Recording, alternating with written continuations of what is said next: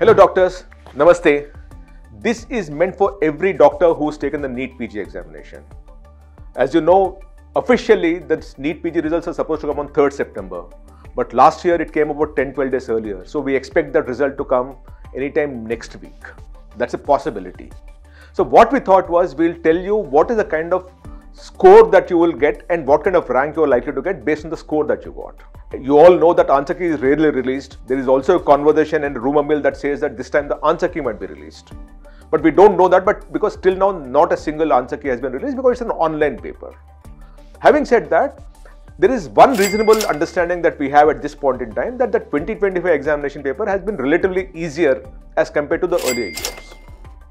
And every rank score that we're going to talk from here on will have some kind of factoring of the kind of easiness of the paper because we need to normalize the whole thing in terms of the kind of score that students are likely to get because the paper is slightly easier. Now, one more thing that you must remember is that the last available data that we have where we actually had the score and the rank was for 2023. For 2024, that was not released. So, all we have in terms of benchmarking is what happened in 23 in terms of the score that students got and the kind of rank that they got as compared to how it's going to be this time around moderating or normalizing that or factoring in the kind of easiness of the paper and the number of increase of, of number of candidates that happened over the last two years. So let us go through this whole thing now. This year, see this, the total registered students is 2.42 lakh. In 23 it was 2.08 lakh. And the total students who appeared for the examination is 2.3 lakh as compared to 2 lakh in 2023. So that's a 15% jump. That's a 15% jump between 23 and 25. And that you must always remember. So we are one talking of a growth of 15% candidates and two, we are also talking of possibly a relatively easier paper as compared to 2023, which is the benchmark year that we have. Because for 24, we don't have a benchmark know, score versus rank kind of a thing. Now, the other thing is most of you would want to be in a government college because it's very, very easy for you. Affordability of a government college and also the kind of excellence that you have in government college is slightly different as compared to what you have in the private colleges. And I'm not saying all private colleges, some of them are very, very good. If you take Kasturba Medical College, Amrita, they are extremely good colleges. But what I'm about to talk of is that most of the students prefer government medical college because it's extremely affordable. And the number of seats that you have in government medical college across MD, MS and diploma is 27,273 this year. These, as per the NMC website, at this point in time, it might keep going going up as we move along. I don't know about that, but as of today, it is 27,273. And the private medical colleges have 22,600 seats. So all put together, we're dealing with close to about 50,000 seats. Exactly, if you ask me, it is 49,873. These are the number of seats that you have, of which 27273 will have extremely tight competition and the others might slightly ease off, right? So we're essentially dealing with this kind of number, 2.3 lakh students competing for 50,000 seats, close to 50,000 seats, of which 27,273 are in government colleges. If you take the reservation away, then you're dealing with again, as a percent of that, you're dealing with about 13 to 14,000 seats across MD, MS and diploma. Now, what is the kind of thing? I told you there were two things that were working in this score versus rank prediction. One is you actually had a 15% jump in the number of candidates who took the examination. And two, across all experts that we've spoken to, everyone seems to concur that the paper this time around is slightly easier as compared to what it was in 23 and even 24. So based on that, in our estimate, and we gave you the 23 marks also so that you can actually compare, in 2023, between 715 and 725 was the top 10 rankers. Right? 1 to 10 this year because the paper is here but having said that if you keep moving up the ladder you know the margin of error is slightly lesser.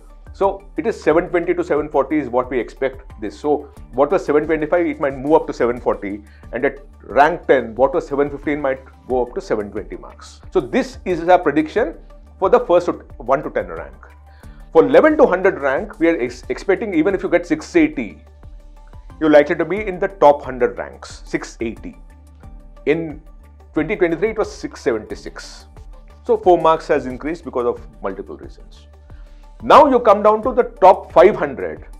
For 500th rank, you'll, if you get 660 marks, you're likely to get 500th rank. So between 101 to 500, 660 to 680, you will get that kind of a range. But if you about 500 rank, 660 marks. In 2023, it was 648 marks. Between 501 to 1000 rank, we're dealing with 640 to 660 marks. In 2023, it was 631 to 647. So suddenly you see about a 10 mark jump at the lower level and at a 13 mark jump at the higher level.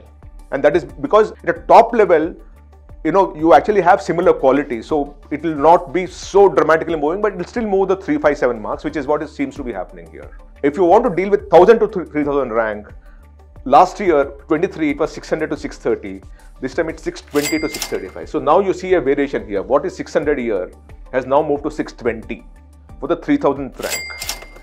And previous year it's 1000 rank it was 630 now it is 635 right so that is what we're dealing with for a 5000 rank we are predicting a 595 to 620 and in 23 it was 580 to 599 so now you see this, it's moved about 15 marks. What was 3, 4, 5 marks here has slowly started moving up to 15 marks here, right? Remember this, this all we're doing is a prediction based on all our, you know, the way we spoke to experts and faculty members and people who train, coach students in various centers. This is a prediction, this is not the actual rank. Once the actual rank comes in, we'll also do another story of how exactly we performed as compared to how the actual ranks are, right? But this is a prediction. Remember this, this is X prediction.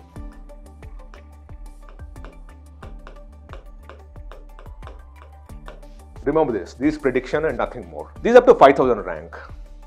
And all these students, by the way, will get a public institution, will get a government college seat. There is no two ways about it. Up to 5000 rank, you're most likely to get a public institution. And that too in all possibility a branch of your choice may not be the college of your choice. Or a college of your choice may not be the branch of your choice. But one of these two will be fulfilled up to 5000 rank. Now the next level which is where the bulk of the students would be. Right? The bulk of the students you know last time around up to 10000 rank if you look at it you at 547 you will get a 10000 rank. This time at 565 you will get a 10000 rank and the range is 547 to 578 in 23. This time it's 565 to 595. So you see the slowly the delta opening up. Up to 20,000 rank, 10,000, 20,000 if you look at it. Last time at 504 you got you know 20,000 rank. This time it's at 525. Right, and overall 504 to 546 last 23 uh, and it's now 525 to 565. At 20,000 to 30,000, it's 490 to 525 as compared to 471 to 503. At 30,001 to 50,000, it's 450 was to 490 against 418 to 417 in 23. At 50,001 to 75,000 rank, it's 380 to 450. And here, it's 363 to 417. And at 75,001 to 1 lakh, it's 330 to 380 versus 317 to 362. This essentially is what is likely to be the rank, the score versus rank kind of prediction. One more thing it is very important for me to tell you. Now, one of the things that all doctors must be very, very well aware of is that in NEET PG, the number of candidates are slightly lesser when it, uh, when it comes to you know taking admission in private colleges. Because of which there is always a steady pressure on the government and the NMC to keep expanding the number of students who will take admission because Quite simply, all the seats are not getting filled in, even though there are only 50,000 seats and 2 lakh candidates. Because the private institutions charge so much more in terms of fee, many people can't afford it. 90% of India can't afford it. So, to that extent, the eligibility keeps expanding or keeps getting relaxed. Now, if you look at it very carefully, in, in 24, which is last year, we all started with 50th percentile. Across UG and PG, the 50th percentile at the first level is always common. 50th percentile for general category and EWS and for PW it's 45th percentile and SC, OBC it's 40th percentile. But because the seats could not get filled in, 23rd August say you on 6th of January they reduced the qualification to 15th percentile for general and 10th percentile for the reserved category. So what was 50th percentile became 15th percentile and what is 40th percentile became 10th percentile. Even then, the seats could not get filled in. So, what did they do? They made it to fifth percentile across all parameters. So, now I'm not getting into judgment of what is right, what is wrong. All I'm saying is, if you want to do a good postgraduate program through NEET PG into one of the deemed and private medical colleges, some of them are very, very good colleges also, mind you, right? And it's a very expensive program. Then you still have a chance as you keep moving along because in every single year, we've noticed that the qualification level has been brought down. In fact, in 23, it was brought down to zero percentile. Last year, it was fifth percentile which means anyone who appears for the examination is most likely to get a seat as long as you have the ability and willingness to pay for that in a private medical college. And lastly, and most importantly, this is for every doctor that is out here. I know for a fact that lot of agents reach out to you to help you to get into a medical college. Please be extremely careful about that. We had heard multiple cases of how people were cheated because a lot of money was taken from them, promising them a seat in a good medical college, and that did not happen, and the agent vanished away. My only request is this is a very, very important decision for you. Go and seek counseling from a very credible counselor. People who are not taking money from the medical college, but people who are actually talking for you, fighting for you, arguing for you, and inform, keeping you informed so that you take the best decision possible. There are a lot of fake agents out there. There are a lot of agents who call themselves counselors. Unless you understand how to reach out to a good counselor, you might actually get, get thugged because we've heard lots of cases where parents come to us saying, We paid this man 5 lakh rupees and we, he's not taking a call. And those kind of things keep coming up. So, my request, please, please, this is a very important decision for you a lot of money is involved, a lot of your time and effort is involved. So be extremely careful of seeking out individuals who might represent that they will get you a seat in a medical college because it's so possible because all is happening through counseling mind you and it's the inter se merit list that is created it is very clearly possible that you might ultimately get cheated and that is something that we want to warn, warn you about by the way and to end the whole thing this is a prediction remember that there is great possibility that if you have, if you qualify, you will get into a, one of the medical colleges. There is great possibility that the qualification level will also be brought down. But you have 27,000 seats in public institutions, 22,000 seats in private institutions, and that's what we're competing for. 2.3 lakh students are likely to compete for this 50,000 seats. That is the end summary for this whole thing. I hope it helps you. We'll soon come back to you and tell you what are the colleges that you'll get and what are the branches that you'll get based on the kind of rank in the next very next video you must you might want to look at that to understand what are your chances based on the score and rank that we predicted out here thank you so much namaste